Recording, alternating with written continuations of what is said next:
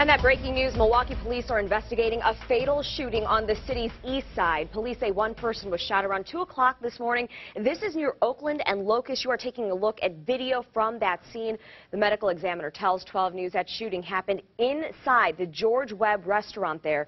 No word yet if anyone is in custody. Be sure to stay with WISN 12 News, WISN.com, and the WISN 12 News mobile app for updates on this story.